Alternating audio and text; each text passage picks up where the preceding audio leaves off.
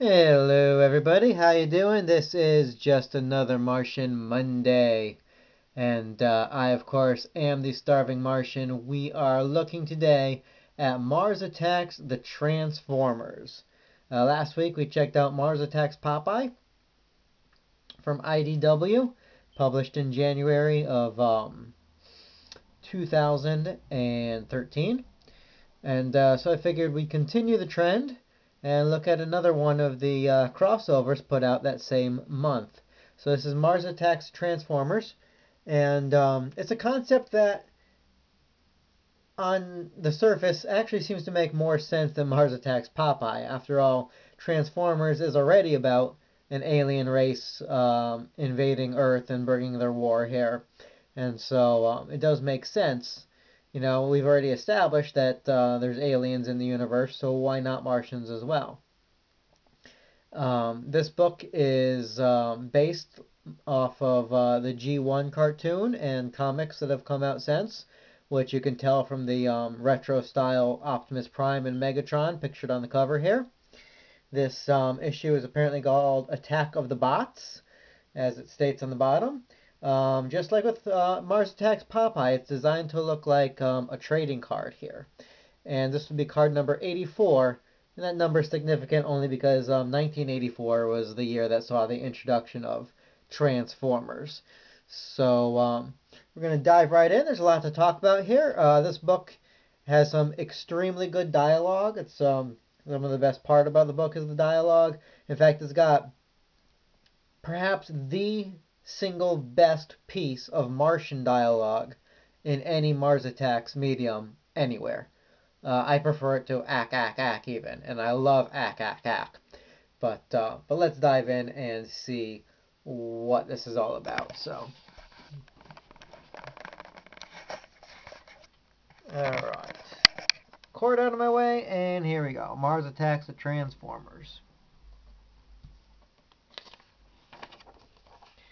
Begin with a shot of Optimus Prime slamming Megatron in the jaw. Uh, this artwork, by the way, is cartoony uh, in a good way. I, I do quite like it. It's not, you know, G1 accurate cartoon. I'm completely fine with that. I'm not, you know, slavishly beholden to everything G1. Um, but um, Megatron and Optimus are duking it out. And um, Optimus has the upper hand, knocks him to the ground, and tells him, uh, may have taken thousands of years and crossed several galaxies, but face it, Megatron, you lost. Or you lose, rather. And here's a great shot of the uh, victorious Autobots. Seems kind of a waste to have uh, Grimlock fighting Ravage, but whatever. And so um, the vanquished Decepticons are loaded onto these trailers. Apparently, um, Wheeljack's invented some stasis cuffs that should keep them there. And they're going to be shipped off to I don't know where, but off of Earth. This uh, general guy is pretty pleased about it, as generals would be. Winning wars and all is what they like. But he doesn't like um, Spike Witwicky's footwear here. if you've ever seen the cartoon, Spike always wears these um, yellow boots. He says, uh, Son, what on God's green earth are you wearing on your feet? What? Oh, I, I'm an oil rig worker. You see any oil rigs around here, kid? No, 'cause there aren't any. Yellow boots. Think it through next time. So yes, he's quite the uh, fashion critic there. But before he could insult anybody else, he gets himself skeletalized. And I think we all know who's responsible. Yeah, it's Martians. Go figure, in a Mars Attacks book. By the Matrix, Prime says. So here's the um, saucers coming down. And um, so the Autobots have no idea who these things are, what they are. Uh, but um, as they say, they're hardly in a state for another battle. They just survived an intense uh, confrontation with the Decepticons, and now here comes the Martians. And we'll find out later in the book this was all planned by the Martians. They couldn't invade Earth while both uh, armies were active, but once one vanquished the other, they figured the time was right. Uh, Ironhide, of course, not intimidated at all by our Martian friends until they blow his arm off.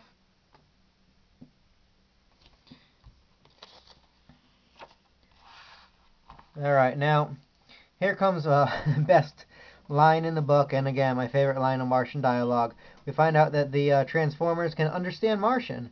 Uh, they, apparently, their ability to adapt allows them to understand any new language. So they hear the Martians here, they're saying, Citizens of Earth, surrender now to the Martian rule. And uh, what they specifically say is, Surrender now, or we shall do unspeakable things to your faces and pets. Which I think is great. Sounds exactly like the sort of thing a Martian would threaten. Unfortunately for everybody, um, the Martian attack frees the Decepticons.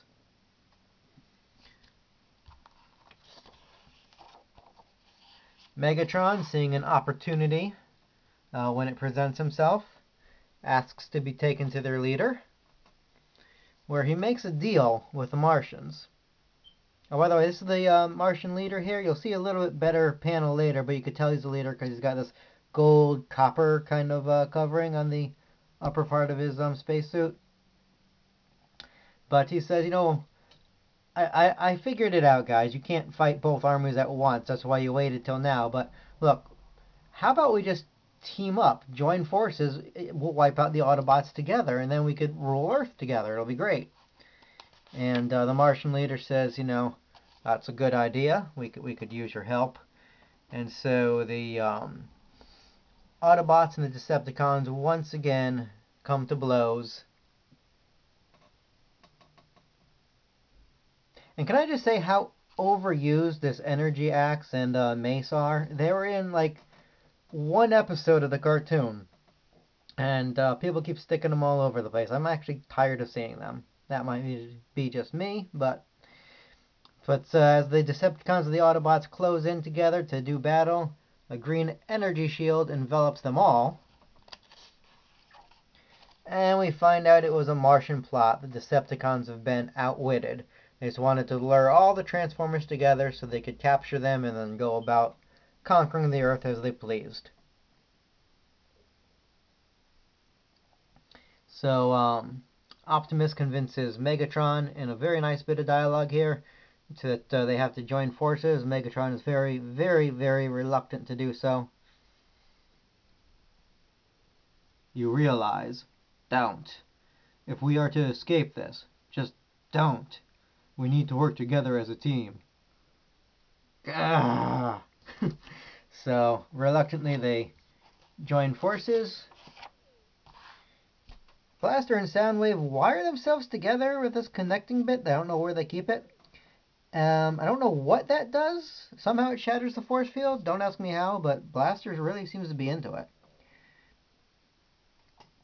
So Megatron comes storming out, seeking revenge. Um, there's the um, armor that the um, Martian leader had I was talking about. and uh, the Martian leader zaps him with the shrink ray. Now, if you guys remember my review of the um, Mars Attacks Martian Commander figure put out by Mezco, he comes with this rather odd looking device. And in all the other reviews I watched on the guy, nobody could figure out what this was. This is a shrink ray from this book, and probably from other IDW books as well. I haven't read them all yet. But um, you can see he's holding it right there identical to the weapon that comes with the Mezco figure. So now you know how you're supposed to hold it, like this. So, there you are, the more you know. So he shrinks Megatron, but is, um, you know, finds out that Megatron still has a fusion cannon, no matter how tiny he is, and it still packs quite a punch. Behold the destructive might of Megatron! Now the uh, Martians whip out their giant robots, and I, I don't like this design on the giant robots. I much prefer the ones used in uh, Mars Attacks Popeye. These guys look like giant spray paint cans. But whatever. Um, the UFOs and the uh, jet uh, fighter guys are duking it out. Astrotrain teams up with Jazz there. I'm sorry, that's not Jazz, that's Prowl. What am I talking about?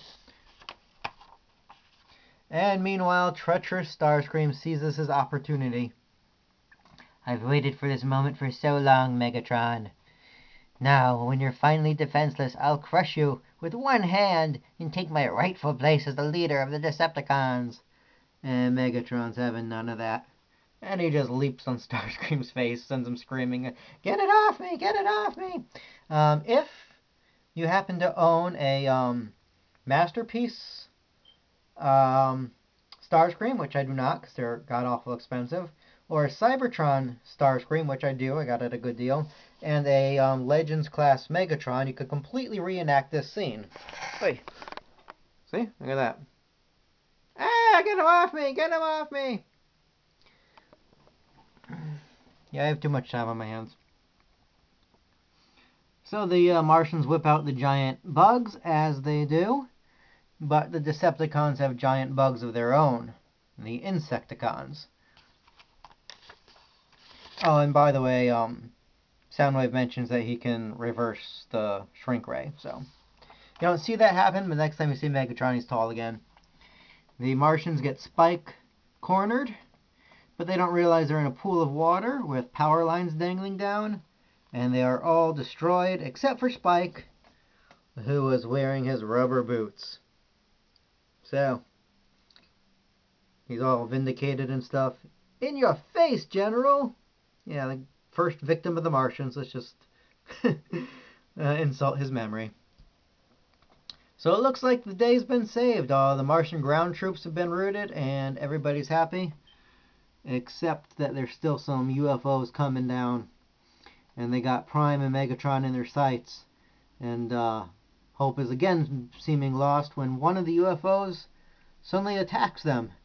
Because that's no UFO, it's a uh, robot in disguise. Specifically Cosmos, who was one of my favorite uh, Transformer toys as a kid just because he did turn into a UFO. So he's been flying around with them, waiting for his opportunity to uh, sneak up behind them and take them out. And so Cosmos saves the day, much to Prime's surprise. I don't know if Prime assumes Cosmos is some kind of wimp or loser.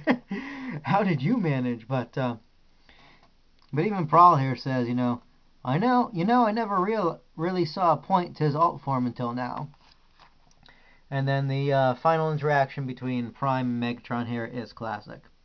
We've done it, Megatron. By working together, we've managed to drive back the invaders. This is a historic day in the history of our race.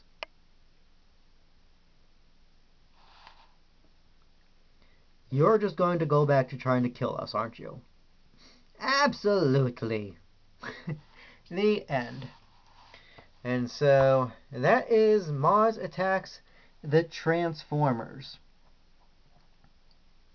Now, interestingly enough, in the um, Japanese only cartoon Transformers Headmasters, the Decepticons blow up the planet Mars. Um, supposedly, it's to um, be able to collect the energon that gets, um, you know, uh, freed from exploding planets. But yeah, they completely destroy Mars, and I like to think there's a connection. I like to think that they remember this incident and want to make sure that Martians never interrupt their plans again. But that's just my own personal headcanon going on here. So Mars Attacks Transformers, uh, my second favorite of the IDW crossover comics. Uh, my first being Popeye. You can uh, pick up a copy. Um, I would check your local comic shop. If they don't have it, well then um, they're readily available online. They don't generally cost too much, but you might find you'll want to pick up the trade edition instead if you really want to read all of the IDW crossover stories. So that's how that goes. Um, one word to the wise is it's got, as well they all do, some uh, alternate covers showing other properties Mars might have attacked but didn't. So if you see Mars Attack Spike, that does not exist. It's just a cover. It'll have Transformers inside.